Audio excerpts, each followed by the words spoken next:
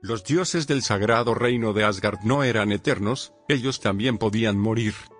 No todos eran conscientes de este hecho, muchos pensaban que su condición de divinidad les otorgaba el derecho a existir eternamente, pero no era cierto.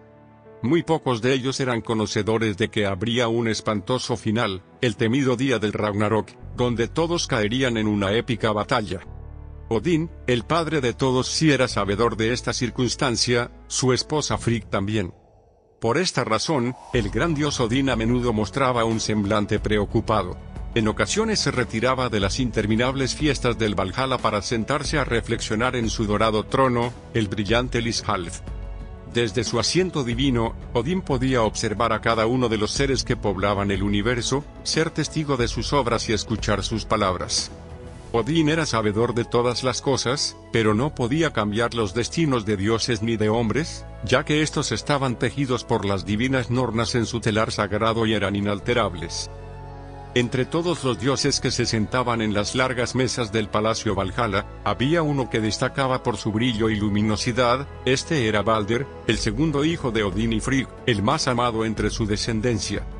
Balder tenía por esposa a la diosa Nanna y con ella engendró a Forseti, el dios que más tarde se convertiría en el juez de los dioses, auténtico adalid de la justicia, y cuyas sentencias siempre eran bien acogidas por los que eran juzgados. Balder moraba con su familia en el Palacio Breiðablik, uno de los siete edificios más impresionantes de todo el reino. Sus techos eran de oro, estaban sostenidos por plateadas columnas cuyo brillo era visible desde los confines del universo. Sus largos salones eran una inmensa extensión vacía y sin embargo de extrema pureza. Se decía que nada malo, falso o impuro, podría jamás atravesar sus puertas. Todos alababan y veneraban a Balder.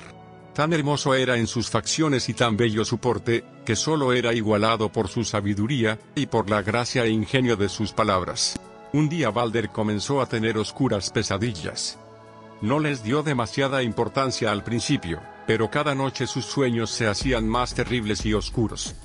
El joven dios, antes alegre y complaciente, se convirtió en un ser obstinado y deprimido.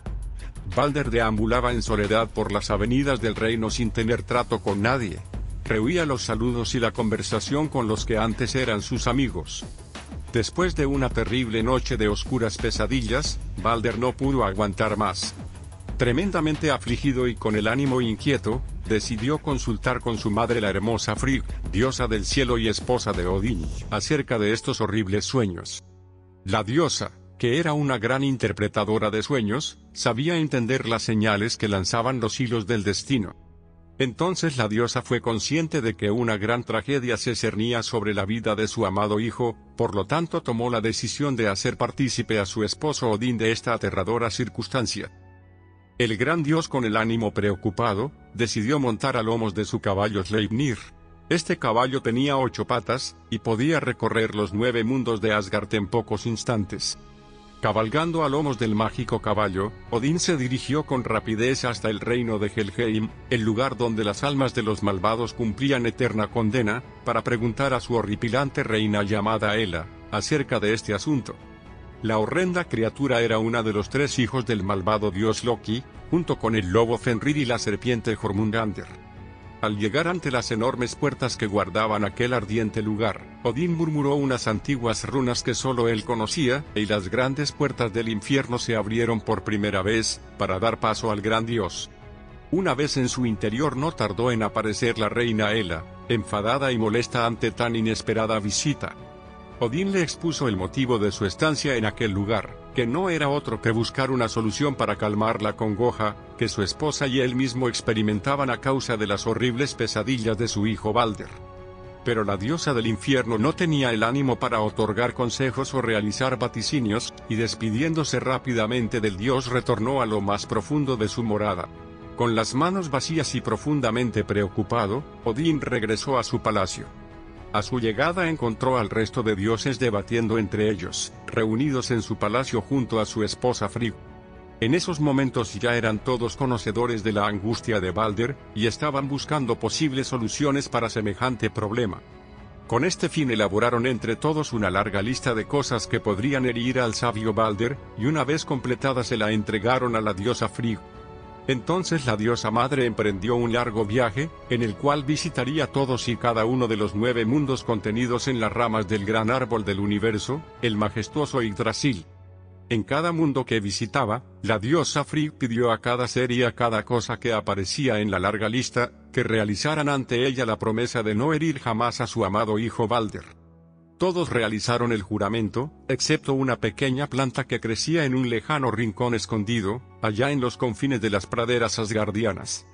Se trataba del inofensivo muérdago, el cual había nacido hacía poco, y en su juventud no comprendía aquello que la diosa le exigía. Por lo tanto se negó a realizar el juramento. La diosa madre no dio mucha importancia a este hecho, parecía una planta inofensiva y se marchó sin volver a pensar en ello pero no se dio cuenta que unos ojos la observaban desde muy cerca, ocultos en la espesa frondosidad del bosque. Se trataba de uno de los enanos que allí habitaban, y que sería el único testigo de lo allí ocurrido. La diosa Frigg regresó a Asgard con los juramentos obtenidos y con un semblante de tranquilidad, ya nada podría herir a su amado hijo. Mientras tanto el malvado Loki estaba profundamente resentido con Odín, también con Frigg y con todos los demás dioses asgardianos. La envidia y los celos que experimentaba hacia Balder eran inconmensurables. No podía soportar los halagos que constantemente recibía el brillante dios, y el odio le devoraba las entrañas. Asimismo estaba poseído por un profundo resentimiento hacia ellos, porque en un tiempo pasado los dioses de Asgard habían encerrado o encadenado a toda su descendencia, estos eran sus amados hijos, el lobo Fenrir, la serpiente Jormungander, y la diosa Hela, la horrible criatura guardiana del inframundo. Entonces el perverso dios Loki, maestro de los engaños de los embustes y de las trampas, urdió un perverso plan harto de incontables años de burlas y menosprecio por parte de los que pensaba eran sus amigos, decidió urdir su terrible venganza haciendo gala de todas sus perversas habilidades. Para ello Loki hizo algo impensable y que ni siquiera los oráculos podían vaticinar. Haciendo uso de sus grandes poderes de transformista, adoptó la forma de un veloz potro alado, y se dispuso a seguir los pasos que Frigg había dado un tiempo antes. Loki recorrió de esta manera todos y cada uno de los nueve mundos, preguntando a cada ser y cosa que encontró si habían realizado el juramento a la gran diosa de Asgard, pero no obtuvo la respuesta deseada, todos habían prometido no lastimar jamás al hijo de Odín. Desalentado por esta circunstancia regresó decepcionado al reino eterno, y se detuvo a refrescarse en una fuente cercana a la ciudad. Desde la espesura del bosque escuchó una voz que entonaba su nombre. Al acercarse a unos arbustos descubrió al enano que había sido testigo de la conversación entre Frigg y la joven planta de muérdago. El enano le relató lo ocurrido, y un destello de malicia brotó de sus ojos, Loki ya tenía lo que buscaba. Por fin encontró algo que podría herir al sabio Balder. Escogiendo una de las ramas del joven arbusto fabricó una flecha con su madera, guardándola entre sus ropas para con ella cumplir su venganza. Durante una fiesta convocada en honor de Balder, este satisfecho con la labor realizada por su madre, y con varios cuernos de fresca hidromiel en su estómago, propuso una demostración de su invulnerabilidad recién adquirida. Pidió a todos los dioses que le arrojasen cuantos objetos desearan, pero ninguno lograba hacer mella en su piel. Ni siquiera el martillo de Thor logró herirle, pero al llegar el turno del dios Or, que era el hermano ciego de Balder, este se dispuso a lanzarle una de sus flechas, y Loki que estaba esperando el momento adecuado la intercambió por la rama de muérdago sin que nadie lo apreciara. Loki ayudó a Or en su lanzamiento, guiando su brazo en la dirección correcta, pues el dios estaba ciego. La flecha fue disparada con tal acierto, que atravesó el corazón de Balder cayendo este al instante. Los dioses enmudecieron, no existen palabras para describir el drama que allí ocurrió. La pena y desconsuelo que se apoderó de los asistentes fue indescriptible, nadie comprendía lo sucedido. No tardaron en descubrir el engaño de Loki, pero no podían tomar represalias contra él en aquellos momentos, ya que las normas de la hospitalidad impedían tener disputas en tan sagrado lugar. Se dispusieron los funerales en honor del dios de la luz, la ceremonia consistía en depositar al fallecido en su propia embarcación, para posteriormente prenderle fuego mientras navegaba. Balder era poseedor del impresionante navío llamado Ringorni, el cual era el más grande y hermoso de todo el reino.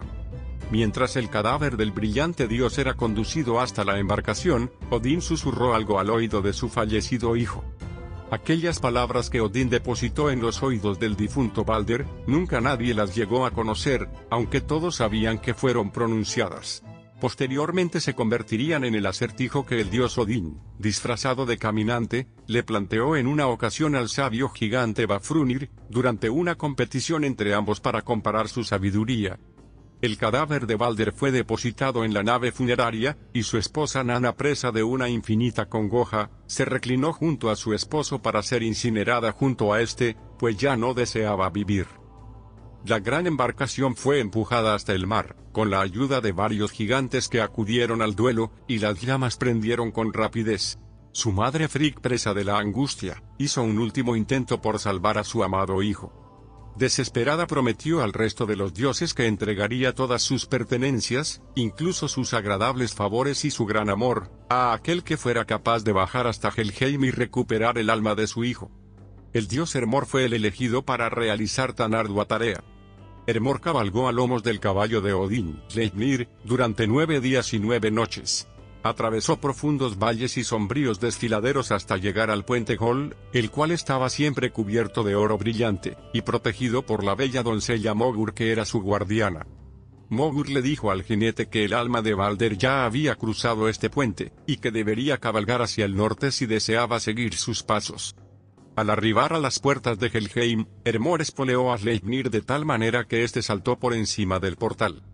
Así de esta forma, Hermor llegó al salón de Helheim, y vio a Balder sentado en el trono que estaba reservado solo para él. Hermor rogó a Hela que liberara a Balder, citando la infinita pena que experimentaban los dioses Asir. Entonces Hela proclamó que Balder solo sería liberado, si todas las cosas muertas o vivas del mundo lloraban por él. Si esto se cumplía ella le dejaría marchar. Hermor regresó con el mensaje y así lo hicieron, todas las cosas y seres lloraron por la muerte de Balder, excepto una giganta llamada Tok, quien rehusó llorar por el dios. Nadie lo sabía en aquellos momentos, pero esta giganta era en realidad Loki, de nuevo disfrazado para perpetrar sus maldades. Es así como Balder tuvo que permanecer eternamente en el inframundo. Posteriormente los dioses descubrieron que la giganta era en realidad Loki disfrazado, entonces lo atraparon y lo encadenaron a tres grandes rocas. Luego ataron a una serpiente sobre él, de la cual goteaba veneno sobre la cara del dios.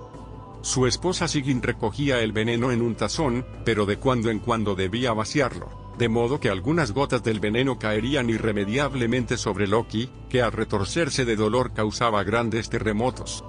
Sin embargo, se liberaría a tiempo para comenzar el definitivo ataque contra los dioses Asir en la llegada del Ragnarok. Este fue uno de los acontecimientos más tristes y dolorosos, ocurridos durante toda la existencia de este mítico reino de Asgard.